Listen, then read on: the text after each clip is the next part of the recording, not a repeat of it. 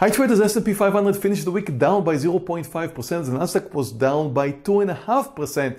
However, we finished a great first half year with S&P up by 8.2% and the Nasdaq was up by 14.1%. Therefore, for now, this is not more than just a small pullback from the highs.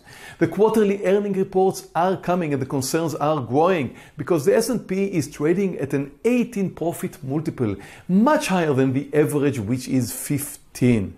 Notice Friday's June employment report, especially after the failing May report. This is another concern. Just one last thing 4th of July is coming, Tuesday, no trading on Tuesday. So happy 4th of July.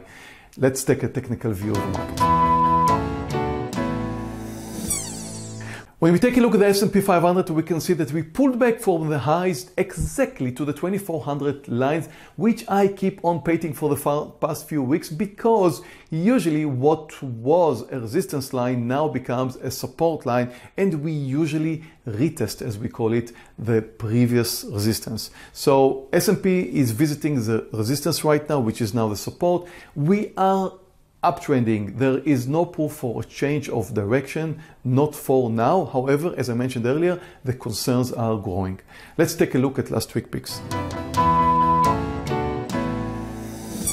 We had WRK4 long. It failed. It touched my trigger point, moved higher slightly, and then came down. I'll never lose more than 3% on the stock that I'm trading, so WRK is out. My second pick was uh, URI, which sadly did the same. Moved down a little bit, then moved up. It was very close to my first target, which is 3%. However, it did not reach that target. Moved up, and again, stop loss at 3%. Let's have two picks for this week.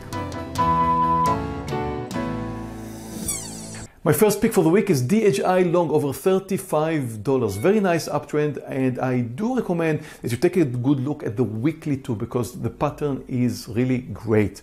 So DHI, a home construction company from Texas, looks great for a long. My second pick for the week is MGA long over 46.60. Again, very, very nice uptrend, very nice weekly too. Take a good look.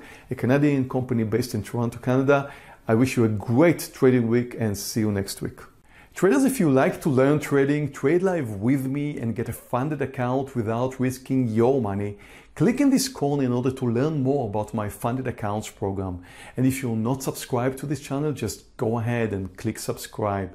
Over here, you can find some of my best live trading videos. And please, if you have any questions, let's have a discussion in the comments below.